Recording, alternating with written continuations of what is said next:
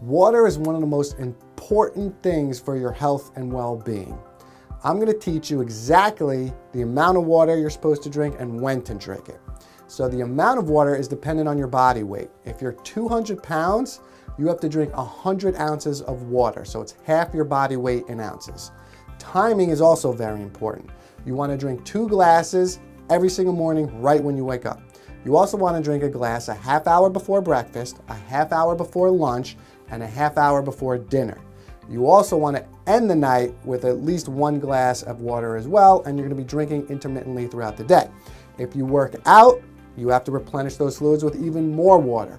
If you're sick, like you have a headache, more water. If you have a stomach ache, more water. If you're a female and you're on your period, drink more water. If you have diarrhea, drink more water.